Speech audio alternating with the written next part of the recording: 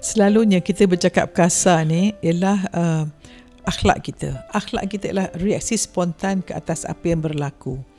Dan memang anda dah silap dan cuma saya nak tanya siapa yang bertanya ni. Betul ke sekali saja anda bercakap kasar tu? Sebab saya rasa kalau sekali mungkin kadang orang boleh maafkan. Tetapi kalau kita ini berlakon, kita seorang yang kasar tapi kita berlakon depan orang lembut, maka yang berlakon tu akan keluar keluar juga. So saya cadangkan macam ni. Apa kata anda berkomunikasi dengan betul, minta maaf dengan betul, jumpa betul mata, empat mata, enam mata, lapan mata dengan mak ayah dia dan puan dan beritahu apa masalah masa saya berkasar tu.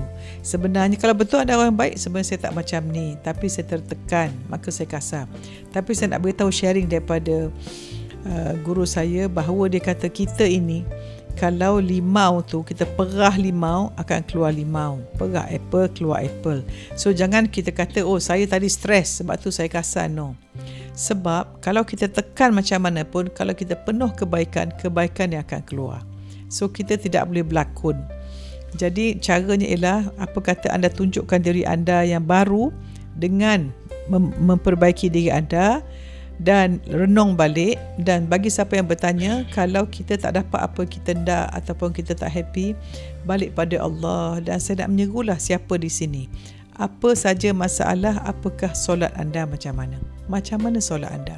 Sebab orang yang jaga solatnya insya-Allah dia akan mendapat kelembutan akhlak. Sebab salah satu penerimaan tanda penerimaan ibadah ialah uh, akhlak kita semakin lembut. Dan ingatlah salah satu tanda Allah sayang pada seseorang, Allah beri kelembutan. Dan kita sentiasa menang dengan kelembutan dan tidak pernah menang dengan kekasaran. Wallahu a'lam.